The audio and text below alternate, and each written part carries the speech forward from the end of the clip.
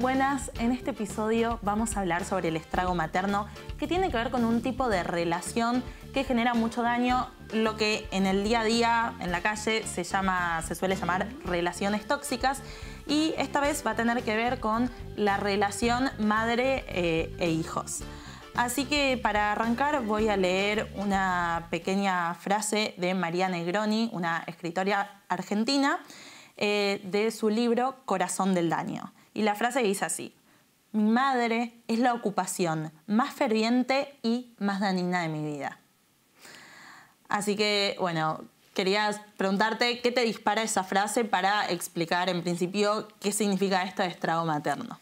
Bueno, comienzo por decir que estrago, si se busca en el diccionario, la definición es ruina, asolamiento, devastación, digamos una destrucción muy grande que lo que podemos decir que si el síntoma da sufrimiento, el síntoma es un sufrimiento acotado, es como la piedra en el zapato, eso con lo que me vuelvo a tropezar una y otra vez, pero que el estrago es algo mucho peor que un síntoma, porque no es localizado, esa piedrita, ese lugar que me molesta, sino es una destrucción mucho más generalizada.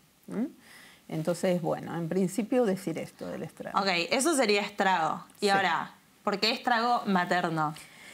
Bueno, eh, vamos a decir algunas cosas, ya que arrancamos con María Negroni, como ella en este libro habla mucho de su relación con la madre, eh, tomé algunas eh, citas donde dice ella, mi madre es el gran amor de mi vida, la medida de todas las cosas. ¿Por qué llora esa mujer? Cuando la ve llorando, son preguntas en carne viva. Yo hubiera preferido no haberte oído el llanto. ¿Qué querés, mamá? La madre le dice, ¿vos querés una vida como la mía? ¿Casarte? ¿Tener hijos? Hace cualquier cosa, menos someterte a un hombre, al áspero de sus, a lo áspero de sus tratos, dentro y fuera de la cama. Y a cada rato, cuando decía eso, decía, porque tu padre, porque tu padre. Ella dice, no olvidaré un segundo lo doloroso tuyo, mamá, por los meses, por los años, teniendo esa sola cosa en mente. Vemos el lugar que le lleva a ella la relación con la madre, que le habla sin ningún velo de su padre, que le dice que no haga lo mismo que ella, que le va a ir muy mal, pero diciendo que todo lo que hizo fue muy malo, que se le arruinó la vida. Sigo un poquito más porque me interesa cómo lo desarrolla esta escritora. Ya dije que mi madre me parecía obscena, que todo en ella me resultaba demasiado gráfico. Yo había sido una niña abierta. Ella avanzaba sobre mí, invadiendo zonas, pensamientos, la totalidad del lóbulo frontal. Un batallón entero de promiscuidades. Testigo, cómplice, trinchera, abanderada. ¿Qué más quería pedirme ahora? Y yo por un lado me digo, perdónala, no sabe lo que hace, pero de ese pantano, de ese agujero negro que me succionaba, me, habría, me había protegido siempre había aprendido a oír.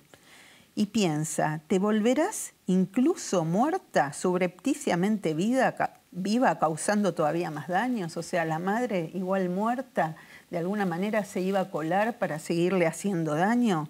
Como una imagen muy potente y presente de la madre. Sí, sí, algo de lo que no se puede olvidar, de, los sufrimientos de la madre y ella como teniéndola que acompañar, secundar esto que dice. Muy, muy enganchada. Muy enganchada, testigo, cómplice, ¿no? Porque es una madre que por un lado la mete a ella en cosas que no debiera, ¿no? Esta obscenidad, que le muestra y que le cuenta cosas en donde no debiera estar. Ella dice esa invasión pero ella también, ¿no? En ella algo de la no separación. Este claro, porque digo, el estrago materno tiene como la palabra materno y vos pensás en la madre o en la maternidad, pero también tiene que ver qué posición toma el hijo o, bueno, la hija con respecto a, esta maternidad, o sea, cómo se agarra de eso, porque no podría ser, por ejemplo, que en este mismo caso de madre la hija hubiese ido por otro lado y decir, ay, mi mamá está re loca, ponele. Bueno, sí, eh, podríamos decir que sí y probablemente esta escritora eh, y, en, su escritura haya podido separarse, ¿no? Pero quizás esté relatando algún momento donde ella se sintió así. La madre le decía, em, eh, me sacrifiqué por ustedes, yo viví para ustedes y si ella hacía algo que le gustaba a ella, decía, lograste lo que querías, me arruinás la vida, estarás contenta. Y ella dice eh, yo soy yo, pero también soy vos. Tu mantita, tu posesión, tu, tu, batalla encubierta y letal con papá. O sea, donde no se diferenciaba. No se separa de la figura de la madre. yo soy yo, pero también soy vos.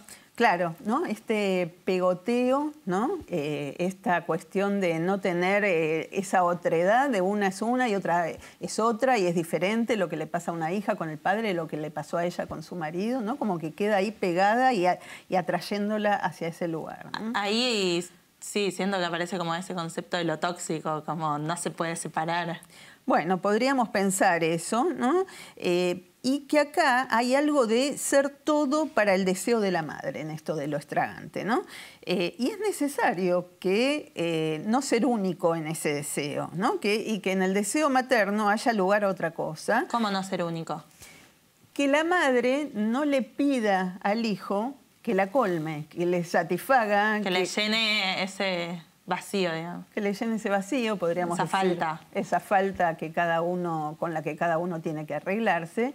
Y quizás una madre estragante es esta que le pide, bueno, eh, me arruinaste la vida o tenés que estar conmigo en esto, ¿no? Eh, y no ubica esa frontera, esa separación, eso de proteger quizás al niño de algunas cosas que no tienen que ver eh, con él o con ella, ¿no?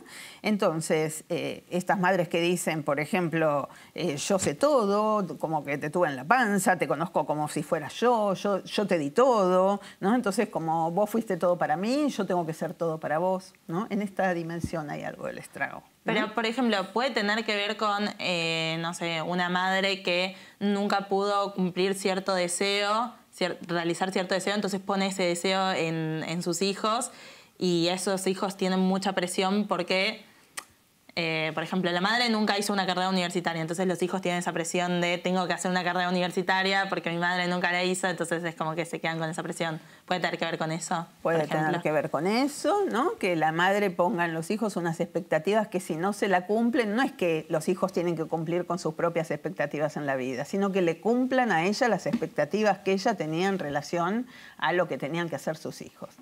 Entonces no es lo mismo, ¿no? Desear que un hijo sea feliz y que haga lo que le hace bien, a lo que yo creo que tienen que hacer porque a mí me parece bien y porque yo les di todo y porque yo sacrifiqué mi vida y porque yo dejé mi trabajo y porque yo no estudié porque vos naciste, digamos, este tipo eh, de enunciaciones y también el quedarse eh, atado, ¿no? Porque hay estrategias de separación. Ahora vamos a ver. Y el estrago materno siempre tiene que ver con, o sea, una mujer, con una madre, o la maternidad más como un lugar. Eh, mira, eh, no se trata de una cuestión de género en principio, tendríamos que decir, ¿no? Pero lo materno quizás es un lugar, ¿no? Y es una función, es la función de alojamiento, de la lengua materna, se dice, ¿no? Donde se aloja en una lengua. Eh, es, es, el primer gran otro, ¿no? Es el primer otro que nos acoge en la vida. Entonces, si es una palabra única y si esa palabra no está atada a alguna ley, ¿no? Es decir, que yo como madre no voy a encapricharme con que mi hijo haga lo que yo quiero que haga, sino voy a decir, bueno, eh, yo quisiera esto, pero no se puede todo lo que uno quiere, ¿no? Entonces, si no se ata alguna ley, esa palabra puede ser insensata, eh, caprichosa, y es como una cuestión eh, de, una vociferación sin límite, ¿no? Donde, bueno, esto, di todo por vos, vos da todo por mí, yo no, me separé de tu padre por vos, quizás el hijo no se lo pidió, ¿no? Mm. Quizás, ¿no? entonces, digamos que hay otro lugar, además del materno, que es la función paterna, que nuevamente no tiene que ver con el género, también puede estar en la madre misma, o el padre puede tener una función materna. Eh, que tiene que ver con coordinar el deseo de la ley, con que no haya una palabra única, insensata, caprichosa, que sea eso, que sea absoluto, sino que se pueda dialectizar, que se pueda decir, bueno, pero yo lo pienso de otra manera, tengo otra versión, a mí no me parece, ¿no? Y la que se para y dice, bueno, e, el hijo no tiene por qué ir a colmar a la madre en lo que le falta, ¿no? Porque hay algo de la madre incolmable, bueno, tendrá que ver qué hace con esa falta, ¿no? Con lo incolmable de la falta de cada uno y cómo se las va arreglando con eso.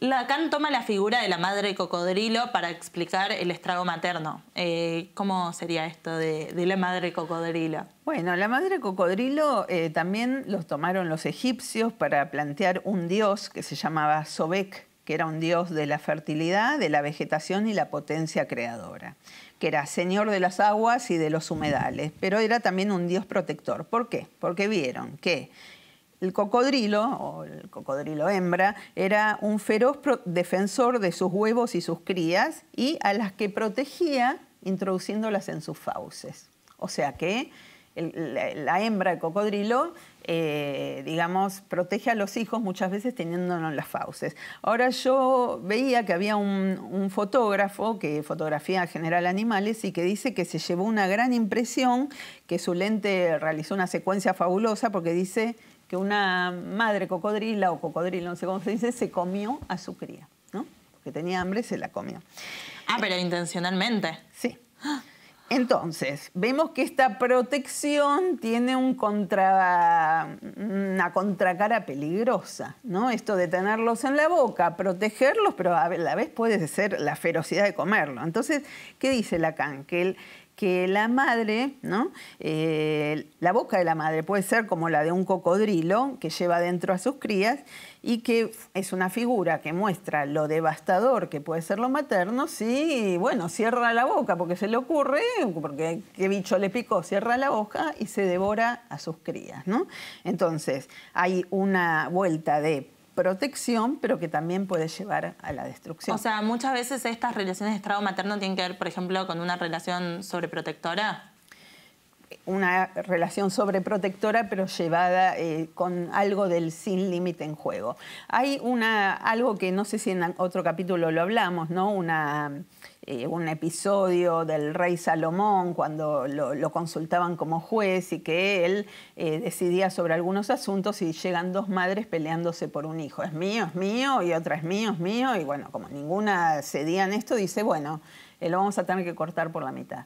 Y una dice, bueno, y la otra dice, no, que... O sea, como que le den la mitad a cada una. La mitad a cada uno. Y la otra dice, no, no, que se lo lleve ella, no lo corten. Entonces Salomón dice, bueno, la madre es la que dijo, eh, que se lo lleve ella y se lo da a ella. ¿Por qué? Porque la, la, que quería que lo corten era tenerlo a cualquier precio. Esas son las fauces del cocodrilo. Es cerrarlo y ya no importa, me lo quedo a como sea, de cualquier manera. ¿no? Posesiva, sí. Sí, y el deseo materno, una posesión destructiva, y el deseo materno es un deseo que coordinado a la ley hace que querer el hijo para la vida. claro, aparte, sí, tener un hijo implica después, lo, lo, tenés vos al principio, pero después implica justamente dejarlo ir. Dejarlo ir, ¿no? Dejarlo ir, dejarlo que viva su vida, que, haga sus cosas. Me hace acordar al capítulo, uno de los primeros que hicimos, que bueno, todavía no está en YouTube, pero está en formato podcast, que es el de eh, anorexia, que dabas un ejemplo de una mini anorexia en los bebés eh, con la papilla asfixiante? Bueno, Lacan sí habla de la papilla asfixiante, habla en relación a que se detecta una anorexia comúnmente, a veces los pediatras nos consultan en chicos muy chiquitos, de un año, año y medio, que la madre le quiere dar comida, cierra la boca, la madre le quiere dar comida, mueve la cuchara y va para el otro lado y el chico no come, no come y quizás está con otra persona y come, entonces la madre se desespera, ¿por qué no come si yo? Y hay madres que le llegan a hacer cuatro o cinco comidas y menos come el hijo. Entonces es como una manera, dice Lacan, frente a esta papilla asfixiante, frente a una madre que mm, quiere saber todo del hijo y se empeña cada vez más, es una manera del chico, muy chiquito quizás, de jugar eh, con el rechazo como un deseo, de poder decir algún no, de, algún intento de separación, de decir vos toda no me llenás o todo no me conocés, ¿no?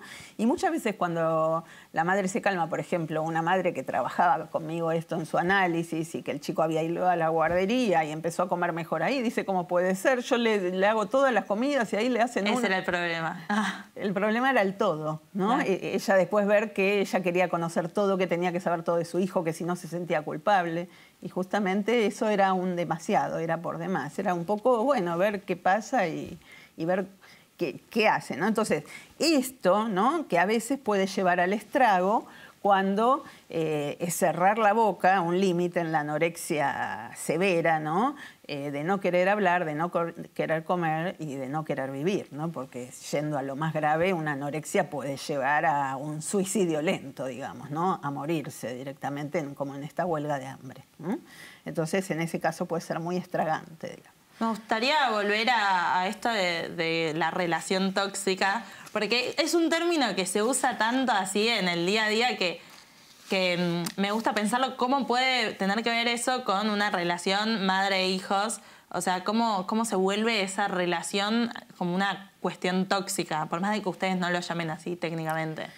Eh, bueno, así como decía que en la anorexia una manera para el hijo de perderse y no ser todo para la madre y ubicar como un hueco, ubicar que no la satisface toda, ¿no? Eh, que se ocupe de otras cosas, ¿no? que no se le venga encima, que no la asfixie, puede ser cerrar la boca ¿no? y jugar ahí, hacerse algún lugar. ¿no? Eh, hay, relaciones donde hay un quedarse ¿no? Eh, en el estrago. Quedarse en el estrago puede ser también cerrar la boca porque es destruir el propio cuerpo, ¿no? Es, puede ser muy estragante una anorexia. Pero en esto que preguntas y de lo que escucho que se habla de las relaciones tóxicas, por ejemplo, una persona que tenía una relación estragante con la madre pasa a tener una relación muy parecida con un hombre, ¿no? Que la madre la controlaba, la seguía, quería saber dónde estaba todo el tiempo, que, y le decía, ¿quién te va a querer tanto como yo, hija? Cuidado porque nadie te va a querer tanto como yo. Entonces, bueno, una pareja donde le decía quién te va a querer tanto como yo eh, y que eh, quería saber todo el tiempo, ¿no? Eh, que quería que las cosas coincidan, que en el 100% las cosas vayan igual. Entonces ella, para adaptarse un poco, bueno, hacía lo, que él quería. Entonces, si él estaba apurado en comer porque era la hora de un examen, se apuraban y ese día no comían al horario habitual. Pero si ella estaba apurada por un examen, él decía, no, no, pero el horario es este. Y ella decía, pero entonces no son las mismas reglas para los dos, entonces se hace siempre lo que él quiere. Y ella empieza a pensar, eh, yo en esta relación me perdí a mí, eh, no sé qué me gusta, eh, hago todo a los gustos de él, dejé a mis amigas, voy relento en la carrera, me iba bien antes, yo había dejado el cigarrillo y lo retomé porque él fuma y él me dice, dale, fuma un pucho conmigo y así fui empezando a fumar. Eh, el trabajo, estoy re desmotivada, no sé lo que me gusta. Y dice, admito que yo también le reviso el teléfono y que si viene cinco minutos tarde ya me estoy maquinando de todo, eh, se me cruza con quién estará y quizás solo se demoró. La verdad que esto es una tortura, dice, ¿no? Donde hay esta aspiración a lo total, hacer todo para el otro, al 100%, a que compartan todo, a no dejar un espacio para cada uno, ¿no? Entonces, quizás lo que se dice tóxico muchas veces es decir esto es estragante. Eh, Ok, y en esto de que el hijo como quiere completar el deseo de la madre de, nada, querer, bueno, completar el deseo, eh, puede ser que, se genere lo contrario, de que, o sea, haya un caso de un, hijo que diga, no, o sea, yo soy rebelde. Tipo, el típico caso de, eh, no sé, es una madre muy presente, muy sobreprotectora, pero que el hijo sale rebelde de que hace todo lo contrario para, en vez de llenarle el deseo, hace todo lo contrario.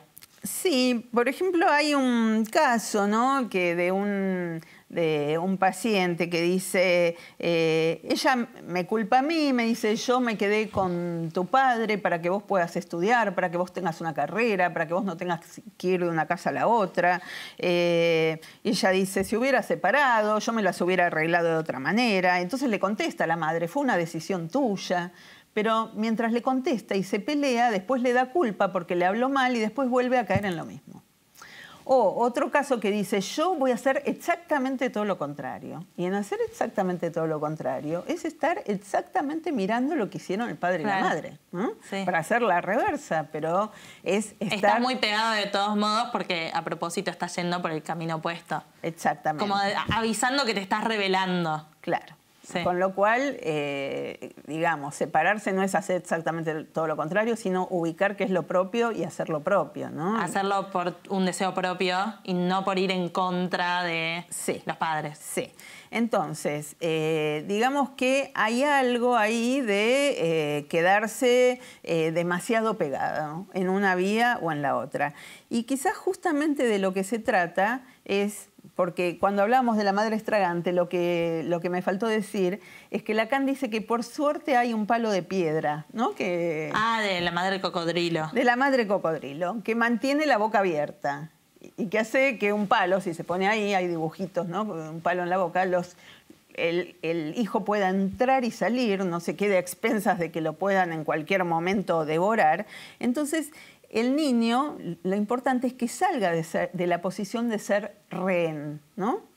Rehén como secuestrado en la boca, como que no se sabe si lo protege o se lo come. Entonces, para eso, el deseo materno tiene que estar atado a una ley, ¿no? Y que eso protege, porque lo que dice la ley, ¿no? La ley paterna, pero nuevamente invito a no entenderlo como una cuestión de género, sino como funciones, ¿no? Una función que metaforiza el deseo de la madre, que hace ahí que que haya la posibilidad de una sustitución y que sepa que se puede tener otra versión, sepa que no tiene la obligación de colmarla a la madre, porque lo que le falta a la madre le falta porque le falta. Y, poder en todo caso nunca se va a poder colmar. No, y si la madre es muy quejosa y muy insatisfecha y siempre le dice, quizás eh, decir, bueno, ella es así, y no tener que uno modificar la vida y estar sufriendo todo el tiempo porque hice todo para ella y ella nunca me lo reconoció. ¿Cómo se manifiesta el, estrago en la vida de una persona? Eh, una, digamos que eh, una relación, cualquier relación tiene la posibilidad de pasar a ser estragante, ¿no? Pero es cuando no se respeta la otredad, cuando no se respeta la separación, eh, cuando se quiere todo del otro y ser todo para ese otro. Negroni, la vuelvo a tomar acá, ¿no? Porque me gusta tomar a, a algún escritor, algún artista, dice, nadie le enseñó, se refiere a la madre, nadie le enseñó nunca qué cosa externa es un otro. ¿Mm? Y dice, el amor falta siempre en todo amor. O sea, que el amor implica una falta. Cuando hablamos de la papilla asfixiante, lo que ahí Lacan dice es que papilla asfixiante es que no haya ninguna falta, es asfixiarlo con la comida. Y que, y que en ese punto hay una ignorancia en la madre en relación al amor. ¿Qué ignorancia? Que el amor implica transmitir algo de la falta de me hace falta, pero yo también voy a hacer cosas que te falten y vos me vas a faltar a mí, pero está bien porque vos tenés que hacer esto por vos y bueno, yo me la banco, hay cosas que no me gustan, pero bueno, ¿no?